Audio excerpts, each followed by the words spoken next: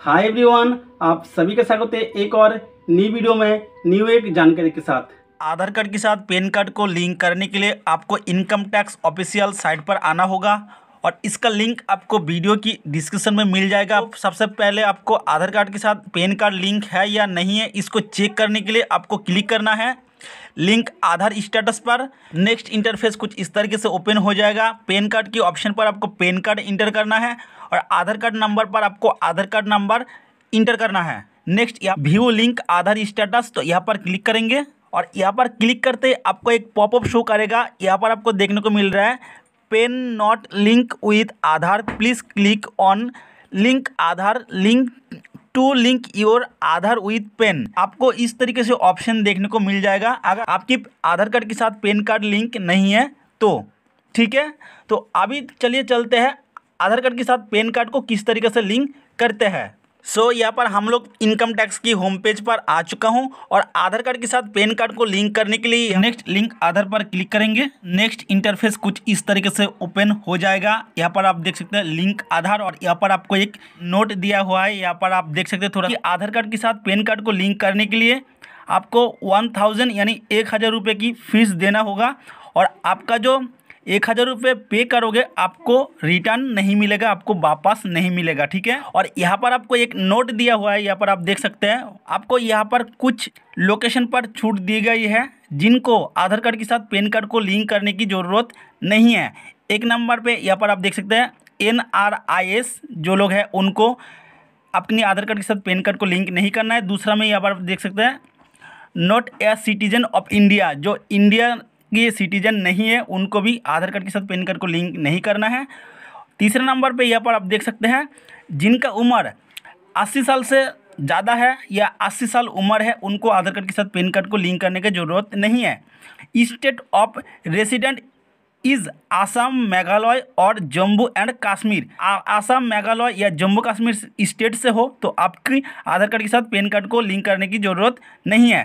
तो नेक्स्ट यहाँ पर पैन कार्ड और आधार कार्ड नंबर इंटर करेंगे और यहाँ पर आपको थ्री स्टेप कंप्लीट करना है। नेक्स्ट वैलिडेट पर क्लिक करेंगे। नेक्स्ट यहाँ पर आपको एक पॉपअप शो करेगा। तो यहाँ पर आपको कंटिन्यू टू पे पर क्लिक करना है। यहाँ पर आपका पेन कार्ड नंबर इंटर करना है दोबारा से। पेन एंड टेन पर यहाँ पर आपका पेन कार्ड नंबर इंटर करना है। नेक्स्ट आपको कॉन्फर्म करने के लिए कॉन्फर्म पेन इस बॉक्स पर आपको दोबारा से री इंटर करना है। Enter mobile number for O T verification तो यहाँ पर आप कोई भी एक मोबाइल नंबर को इंटर कर सकते हैं जो आपके पास मौजूद है। तो नेक्स्ट कॉन्टिन्यू पर क्लिक करेंगे। आपने जो मोबाइल नंबर इंटर किया है, उस मोबाइल नंबर पर जो ओटीपी आया है, उस ओ को आपको यहाँ पर इंटर करना है। और आपको अगर ओ रिसीव नहीं होता है तो रिसेंट ओ पर क्लिक करके आप दोबारा से ओटीपी रिसीव कर सकते हैं। तो नेक्स्ट यहाँ पर कंटिन्यू पर क्लिक करेंगे। यहाँ पर आपका पेन कार्ड नंबर और यहाँ पर आपका नाम देखने को मिल जाएगा। आपको अपना पेन कार्ड नंबर कॉन्फर्म कर लेना है। नेक्स्ट, यहाँ पर कंटिन्यू पर क्लिक करना है। इनकम टैक्स, इनका नीचे जो आपको प्रोसीड का बटन देखने को मिल रहा है, यहाँ पर प्रोसीड पर क्लिक करेंगे। तो यहाँ पर आपको असेसमेंट ईआर सिलेक्ट कर लेना है। तो यहाँ पर नेक्स्ट टाइप ऑफ़ पेमेंट यहाँ पर सिलेक्ट पर क्लिक करेंगे।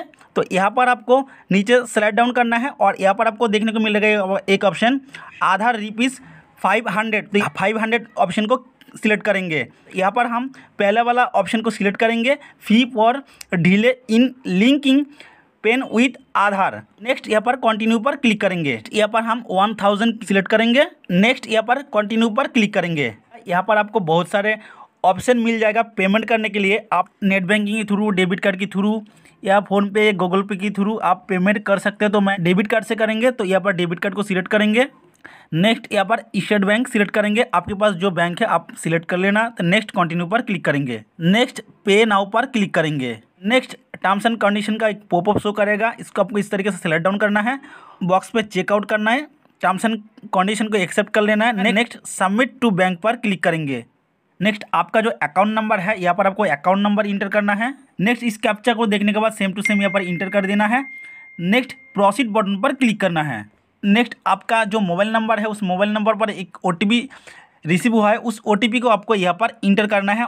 नेक्स्ट कॉन्फर्म बटन पर क्लिक करेंगे। जिस व्यक्ति का अकाउंट से आप पेमेंट कर रहे हो, उस व्यक्ति का नाम यहाँ पर देखने को मिल जाएगा और इस व्यक्ति के नाम से जितना भी डेबिट कार्ड है, यहाँ पर शो करेगा।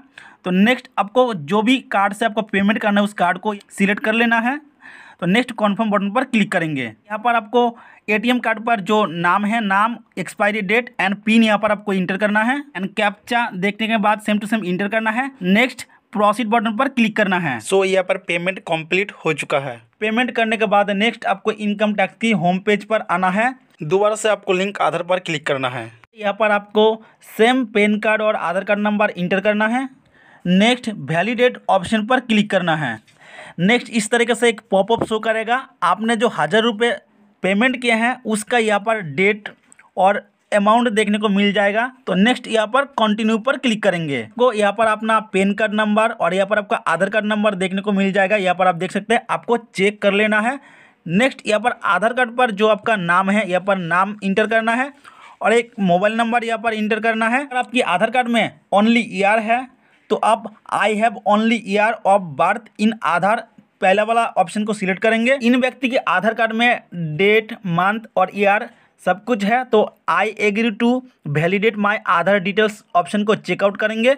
नेक्स्ट लिंक आधार पर क्लिक करेंगे। नेक्स्ट आपने जो मोबाइल नंबर इंटर किया है, उस मोबाइल नंबर पर ओटीपी रिसीव हुआ है, उस ओटीपी को यहाँ पर इंटर करेंगे। नेक्स्ट वैलिडेट ऑप्शन पर क्लिक करेंगे। नेक्स्ट यहाँ पर आप देख सकते हैं, आपको एक पॉपअप शो किया है और पॉपअप में आपको बता दिया है your Aadhaar PAN link request has been received and sent for valid option in case required please check the status after अड़तालीस hours by checking on link Aadhaar status under quick link on home page आपको home page पर जाना है अड़तालीस घंटे के बाद, इसके बाद आपको चेक कर लेना है और अड़तालीस घंटे के बाद आपका पैन कार्ड के साथ आधार कार्ड लिंक हो जाएगा और यहाँ पर आपका जो प्रोसेस है कंप्लीट हो जाता है। आई होप जानकारी आपको काफ़ी पसंद आया होगा। जानकारी पसंद आए तो प्लीज़ वीडियो को लाइक करिएगा। चैनल पे आप नए हैं तो चैनल को सब्सक्राइब करिएगा। आपसे फिर मिलते हैं नेक्स्ट वीडियो में। न्यू अपडेट के साथ।